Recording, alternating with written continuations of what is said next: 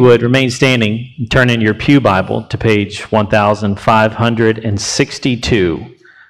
Our scripture reading this morning is out of Mark, Mark chapter 6, verses 30 through 32.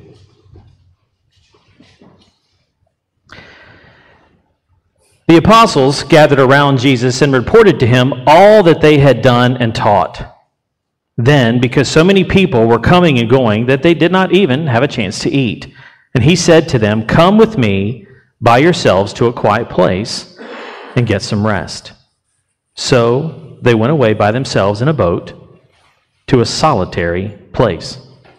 This is the word of God for the people of God. Thank you. You may be seated.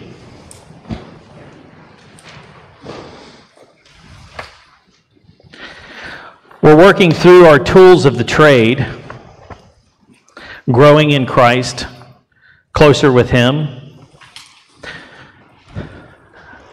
I have to say that this is probably one of the more difficult ones silence and solitude and quietness. At the same time, you may find it interesting that this is one of my favorites. And you're probably thinking, really? Seven kids, quiet, solitude, silence. There comes a point in time when you learn to appreciate how valuable it is, right? But it is. Quietness, sitting. And you know what? We need to understand that it's okay to be quiet. It's okay. In a world that has taught us that noise and busyness and activity is good, we've become comfortable with those things. Probably one of the most difficult things that we could do is to sit and not talk. Silence. Silence in talking about it from a standpoint out of a spiritual discipline from Scripture is the practice of voluntarily or temporarily to stop speaking so that certain spiritual goals can be focused on. Voluntarily stop speaking so that you may pursue a spiritual goal, relationship with God. Now, that doesn't mean that you can look around and go, you know what, I think you need to go practice silence. God's telling me to tell you, shut it. Now, we all can feel that at some times, right? And we all know who you are. and you know? It's the same with being in solitude. Solitude is the practice, it's voluntarily being absent from other people so that you may be present with God. Now, it doesn't mean when you're at work and you're looking at that one person, you're like, I think you need to go practice solitude. God's telling me, right? We've all been there because we have that point of relationship with people where it's like, you know what? There is this quiet room off to the side where you can practice silence and being alone. I think you need to go do that. but that's not what God's talking about. It really is a point for us to be quiet, to not speak, and to listen, and to be alone. And it's okay to be alone. It's okay to be silent.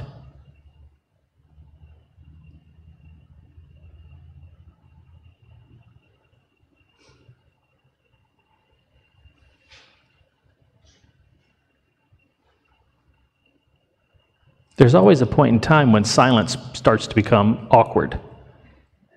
Right? You can feel it. And you're like, somebody please just talk. Somebody say something because this is driving me crazy. It's designed to drive us into relationship. Because when we stop talking, that means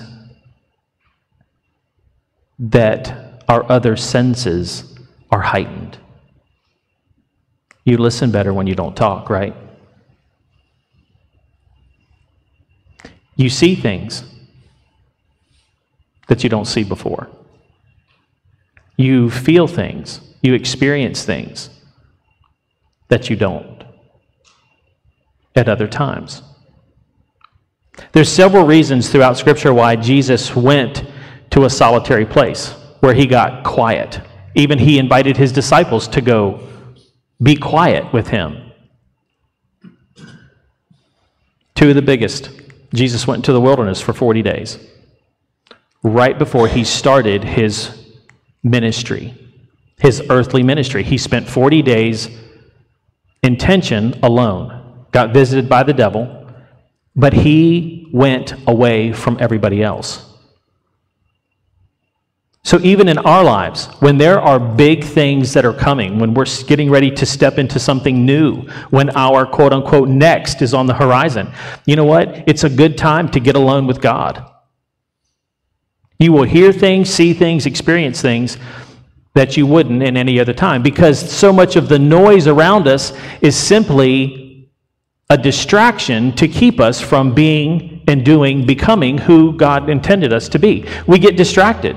We all admit it. It can be from our telephones to just getting out. I just need to get out and take a drive. I need to get out. I want to go out and have dinner with somebody because you know what? I, I don't like to be alone. When God is inviting us to be alone with Him, we play the card of, I, am just shouldn't be by myself. You know what? That's the best place you can be sometimes because it's between you and Him. The one who made you, the one who gave you breath, and the one who sees everything that you're dealing with, to be alone with Him and to be quiet. In those times of quietness and silence and being in solitude, again, remember, both of those things are not just close your mouth and be alone, it's for a purpose. You're being quiet and you're not talking because you need to listen and you want an answer. Or you need to understand the situation that you're in better. So there's a purpose in each one of those things. And in those times is the best time to practice and understand how God wants to communicate with you. Because if our mouth is closed, then most of the times our ears are open our heart is open. And it's during those times, it is a great time to practice communication between you and the Father. We just need to get comfortable with being quiet. And that can be a challenge. Amen. I mean, you know what? There are, and, and, and this, this, I'm not pointing any fingers to anybody, but you know what? There are sometimes that people need noise to go to sleep. That makes no sense to me. But they're like, we got this great sound machine. It plays all these kind of things. And I'm like, why? But it's like it drowns out everything else. And in our silence, God will speak. He will. God will speak. He will communicate to us. Also, our quietness, our solitude, helps us familiarize ourselves with the peace that Paul talks about in Philippians chapter 4. There's a peace that passeth all understanding. That's what the Bible says. That means that something, peace, this peace, God's peace, will come over you so much so that you can't explain it or understand it.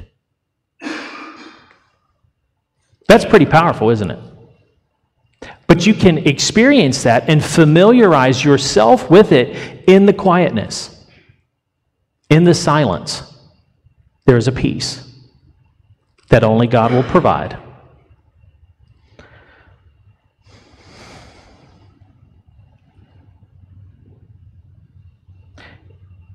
Jesus also went to spend time alone in the Garden of Gethsemane before the cross, before something beyond trying, something that he had to face that was beyond what what we have ever faced. But he got alone.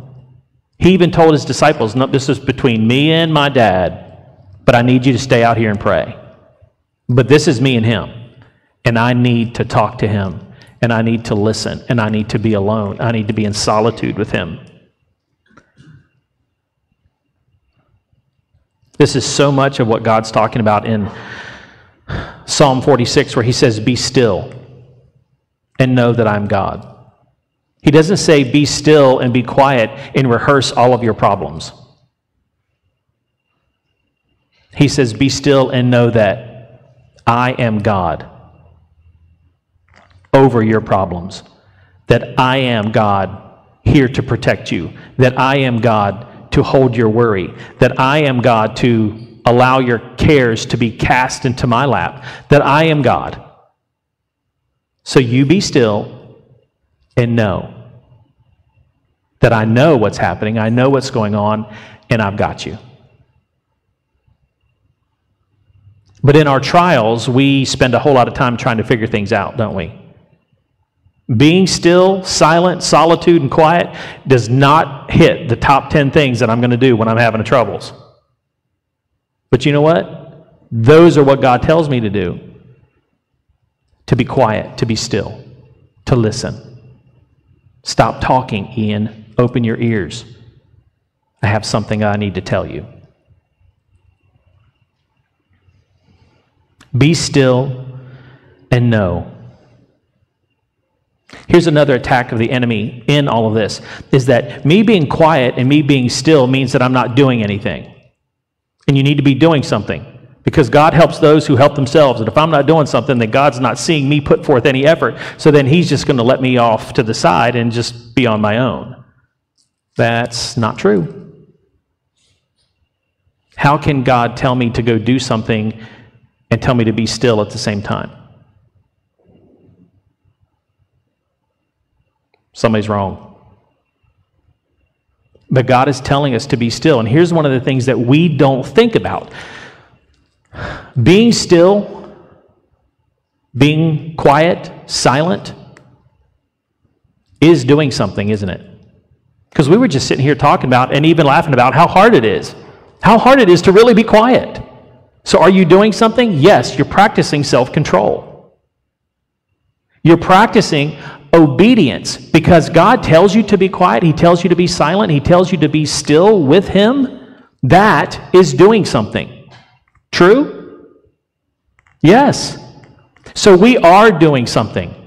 We're being obedient, we're being submissive, we're being humbled so that God moves. And He will. Some of the, the benefits of, of being silent or spending time in solitude, it brings clarity to decisions that need to be made, questions that we have. When we're seeking God's will, get quiet, get alone, and be still. It allows rest. And a lot of times I hear this like, Ian, when I stop to pray and I bow my head, man, I'm out. I just fall right asleep. Do you want to know what? Maybe that's not a bad thing. Maybe you do need the rest. Maybe your body needs that. So don't condemn yourself. Accept the rest that God's given you and then wake up and get back at it. But it allows for us to rest our bodies, our minds, and our spirits. We all need rest. Sometimes that's exactly what God wants for us. But in that, it also calms our hearts and our minds. At so many points, we have allowed the rush or the hurry of the world to own us. Right? Man, I got to be. Sorry, I got to cut this conversation short. I got to go. Got to go do this. I've got to go be here. I've got to, I've got to, I've got to. Rush, rush, rush. Hurry, hurry, hurry. That is a grip that the enemy grabs a hold of you and just can strangle the life out of you. Silence, solitude breaks that. It breaks it. When you're quiet and alone with the Lord, the more you do it, the more practiced you become at it, the benefits that you see from it break that grip of the enemy. That is push, rush, hurry, faster, go, go, go. It breaks it. And with that, it calms our emotions. How many times do we react wrongly? Actions, voice tones, words, body language. Because I have been pushed, I have been going, I have been going from here to here to here, and I am done. I am not alone, am I? No. That is a huge thing for us, isn't it? And the rush and the push that the enemy has us doing ends up constructing our lives in a way that even our responses are based off of that.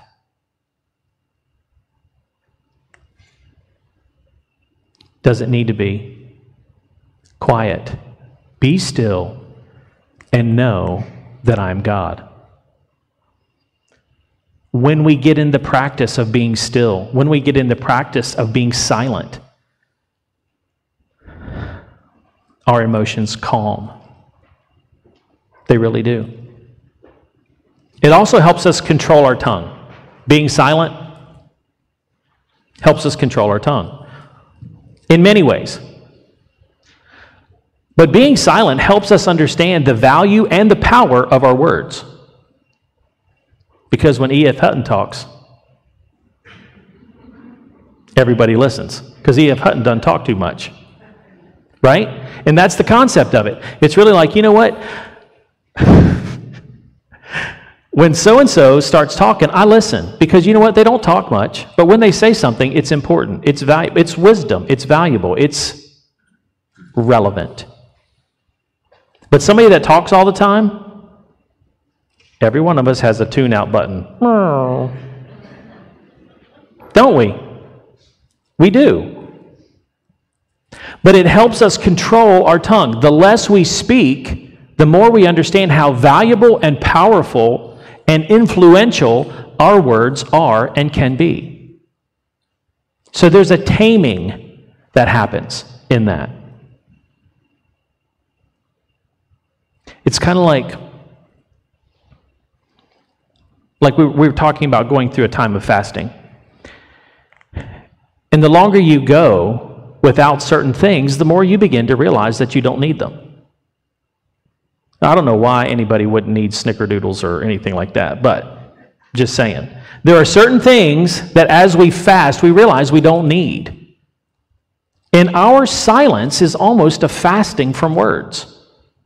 So you realize, you know what, I don't need to say that I don't need to say it that way. you know, what I just said really caused more issues in the situation than it did a benefit. So if I just reel that tongue back in and just not speak, I don't need to cause more strife or more madness or more frustration. Or I don't need to necessarily give my opinion in that situation because it's not needed. But our silence in this discipline, in this spiritual discipline, teaches us and it trains us. Because there's going to come points and times that God's going to say, you know what? I need you to speak. This is what I need you to say. And when you do, the people around you are ready to hear what God has to say, not you, but what God has to say through you.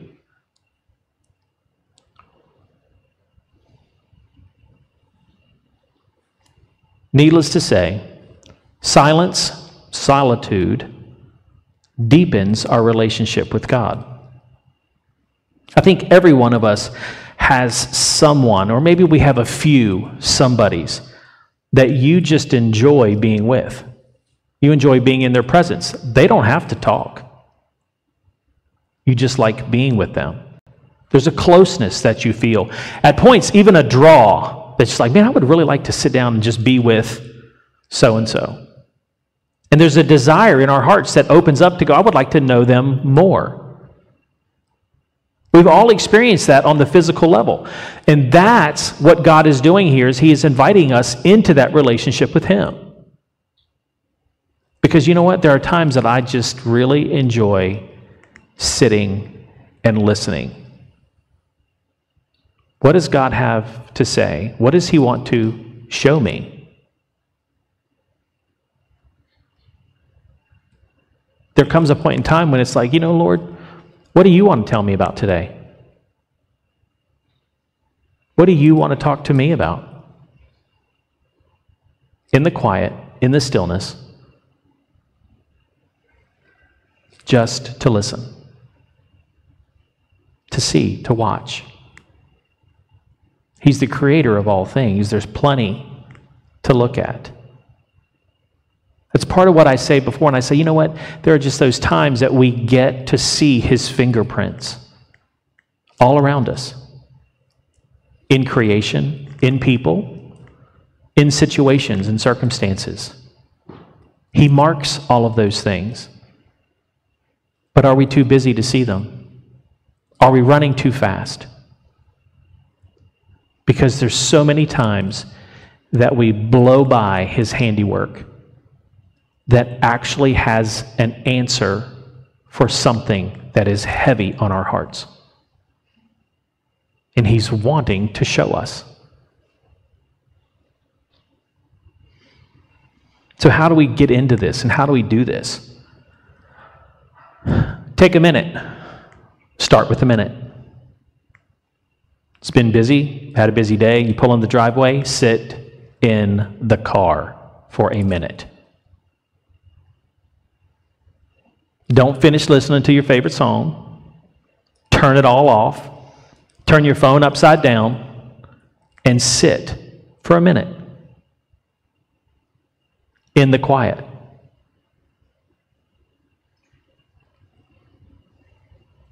Take a deep breath. God, is there something you want to tell me? Incorporate it into your day somehow. Maybe if you're at home with all of the kids, it's lock yourself in the bathroom. You laugh. We've all done it, right? It's true. You find the quiet place. Where's the quiet place?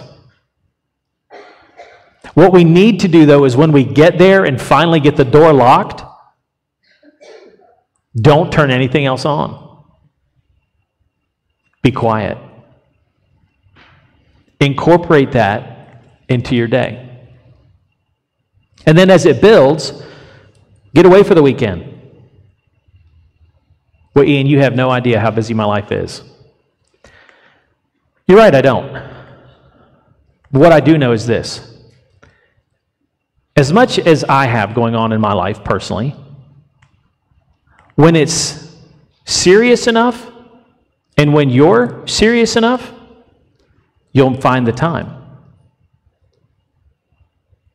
You will. When you find out how important it is for you, when you see the added benefits of your deeper relationship with the Lord, then those weekends, those minutes turn into an hour, and those hours turn into hours, and those hours turn into days, and those days turn into weekends, and those weekends turn into I can't get enough. Exactly. Exactly.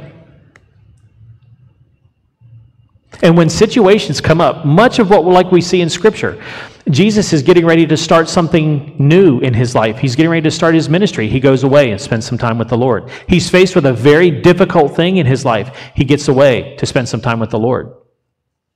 All of the situations in our lives, we can find it in Scripture somewhere, and attached to that is time alone with God. Because you know what? He's in everything, He sees everything. He wants to be a, every part in, within your life. He wants to be infused into who you are and what you're doing and what you're stepping into. And sometimes the one way to get ready to step into something very difficult is to have some time alone and away with Him. Power. Power comes from being alone with God and being silent before Him. But I have a word of warning. As you step into doing this, as you find your time to be quiet and alone, be prepared for the crazy when you get home. Because what you're doing is a spiritual, what is called the spiritual discipline. It's this, it's this time of building relationship with God, and who doesn't want that? The enemy doesn't. And so if I go and I spend some time away and I come home and it is just chaos, I'm going to have one or two reactions. Either fantastic, man, I can never go anywhere. You guys need me to be here because I can keep things in control. Yeah, my kids laugh at me. They're like, yeah, Dad, you're right. You keep thinking that. Or I can walk in and go, you know what? That time that I just spent was so valuable for me and my relationship with the Lord that it made the enemy so mad that he has come and tried to disrupt my house. The fight is on. And let me tell you who's going to win. Enemy, out. My house my house, what I've been given, what I've been gifted, what I'm responsible for, and that God is going to help me take over that. Or if I take a day off of work and I get back to work and everything has broken loose, attack. The same one you just spent time with will correct and realign what's going on in your house, in your job, in your heart, in relationships. The word of warning is when you step into spending time with the Lord, the enemy doesn't like it and he's going to come after you. But you are more than, what does the Bible say? Conquerors. That's who you are you will find that the time you spend alone with the Lord builds your strength, it empowers you, it gives you confidence to move forward and to face the attacks that are coming against us. But it puts you in a position to be given more from God to go be and do what He's called you to do. But, church, I want to encourage you it's okay to be silent, it's okay to be alone with the Lord. It's good. Jesus modeled it for us and encouraged his disciples to do it. And that's who we are. So I encourage you find some alone time, even if it's a minute. Sit in your car, even if it's longer. It's okay to close our mouths, open our ears, and spend some one on one time with the Lord. Father, Lord God, I thank you for, your day, for this day that you've given us. I thank you for your blessings, the love that you have for us. God, we thank you for blessing us. We thank you for walking with us. God, we thank you for giving us insights into these tools that we can deepen our relationship with you. But Father, I also ask you to give us the strength that we need to do these things that may seem uncomfortable or abnormal. But, Father, that we can follow you and that you will walk with us and you will lead us and you will guide us, Father, that we can trust you and find you faithful. to walk with us and protect us and communicate with us. Lord, we love you and we worship you. In Jesus' name, amen.